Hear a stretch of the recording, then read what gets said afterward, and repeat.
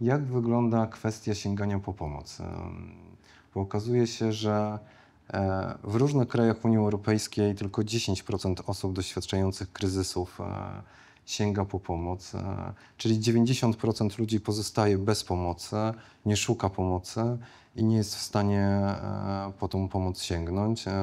W Polsce to wygląda trochę bardziej tragicznie, bo to jest aż 5% osób, albo aż tylko 5% osób, która sięga po pomoc i wsparcie czyli mówimy o tym, że 95% e, osób doświadczających kryzysów e, pozostaje bez wsparcia.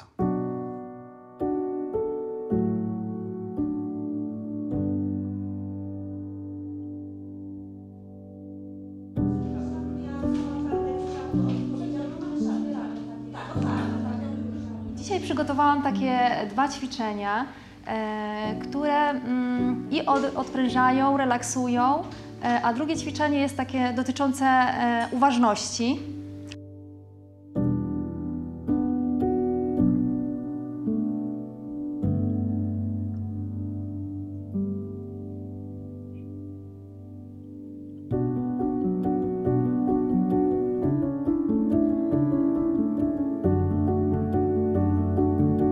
A ja przeszedłem z tą dobrą połówkę na drugą stronę życia, i tam, będąc z miłości do swojego wnuka, stałem się jego aniołem stróżem, który go będzie nad nim czuwał pilnował go przez całe jego życie.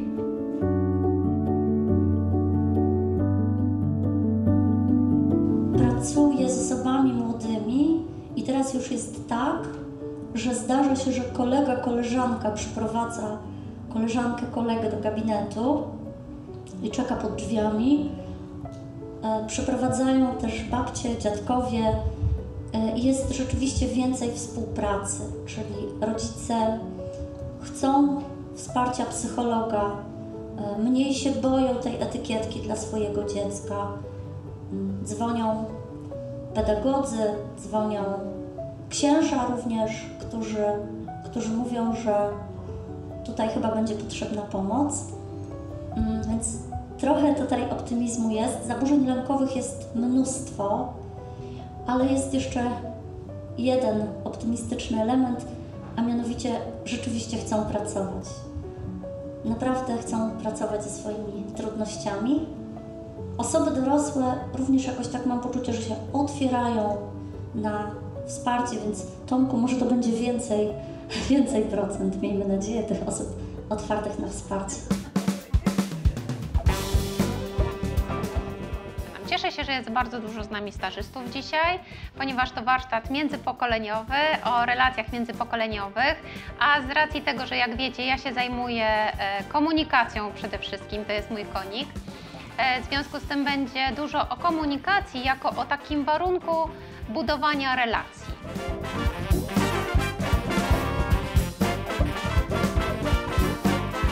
Przychodzi wnuczek i pyta babcię, babciu, czy wiesz, gdzie jest mój powerbank? W sieni. A co to jest sień?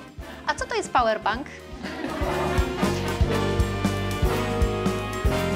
Myślałem, że chyba bym postawić znak równości, dbać o zdrowie psychiczne, a dbać o relacje. Duża część zgodzi się z takim stwierdzeniem, że w jakiś sposób mamy taki kryzys y, relacji, kryzys bycia razem teraz. Znaczy, to jest coś, z czym ja się spotykam w pracy, bo myśląc o o pracy tutaj w fundacji, o spotkaniach z seniorami. E, wszyscy wiemy, jak to jest dotkliwe, to znaczy jak samotność jest dotkliwa, e, jak bardzo odbija się, jak bardzo wpływa na nasze zdrowie psychiczne. E, I odnosząc się do tego, co dziewczyny powiedziałyście odnośnie dzieci i młodzieży, to ta samotność nie jest hasłem zarezerwowanym dla seniorów, w zasadzie nie jest hasłem zarezerwowanym dla jakiejkolwiek grupy, bo dotyczy sobie wszystkich. Natomiast faktycznie mam poczucie, że, że, że, że w gabinecie terapeutycznym z tym hasłem, z tym doświadczeniem spotykam się ogromnie często. E, dlatego byłbym chyba dwiema rękami, dwiema nogami bym się podpisywał pod tym hasłem, że dbać o siebie, dbać o swoje zdrowie psychiczne, należy dbać o relacje, dbać o bycie w kontakcie z innymi, dbać e, o bliskie osoby, e, być w takiej atmosferze, żeby żeby mieć takie poczucie obecności.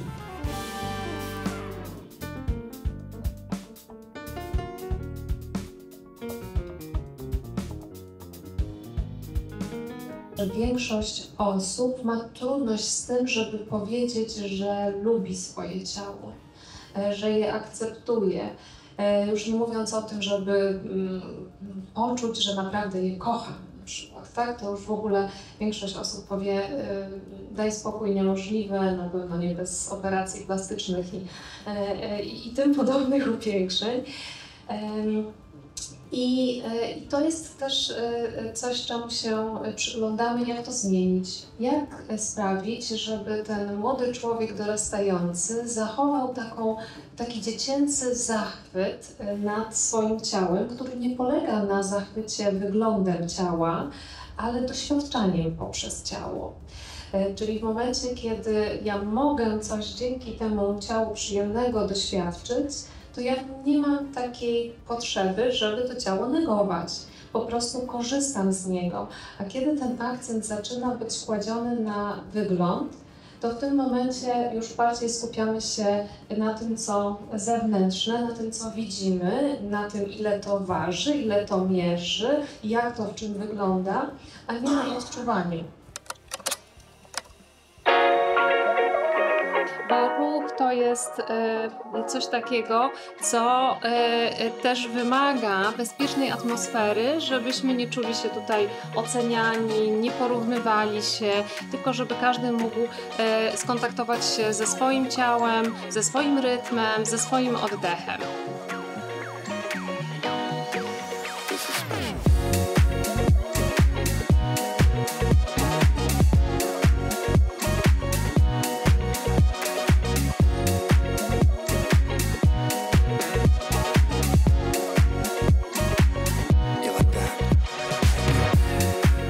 Myślę, że właśnie zdrowie psychiczne polega na tym, że w którymś momencie już możemy mieć, brzydko mówiąc,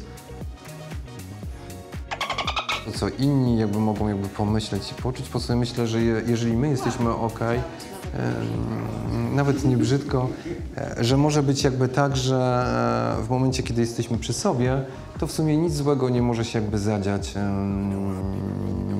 Em, Porozumiem, że tutaj każdy z nas dba o zdrowie psychiczne.